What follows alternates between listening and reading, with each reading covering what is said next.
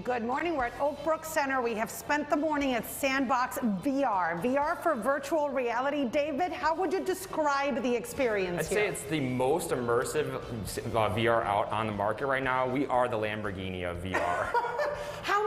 experiences can I have There's here? five different experiences. Four of the five games are shooter games. Mm-hmm. I really think that the most exper- like best experience is Deadwood Mansion. Mm-hmm. It's a fan favorite. Uh, it gives you the chance to actually be like the action hero. So I always looked up to Will Smith. Yeah. And it gives you the chance to kind of be I didn't Will know Smith all in those guys game. were investors here, like Will Smith, Justin, Timberlake, Kevin That's- Durant. So thank you guys so much for we really appreciate that. Yeah, because they watch WGN, David. Hey, you okay, know what? listen, Larry and Robin, you've been wondering why it says here that I am the queen of killing Yeah. zombies right here. Because when does Ana have a big score?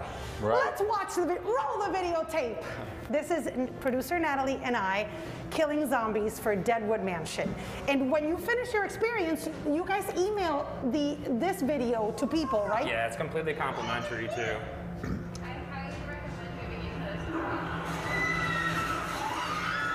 So the zombies are pretty voracious, you can see.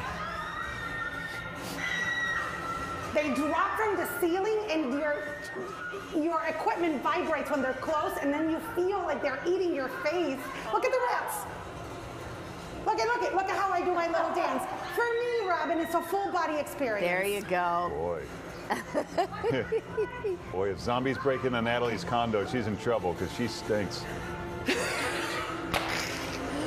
That's our town for this morning. Check out Sandbox VR in Oak Brook. Have a wonderful zombie free day.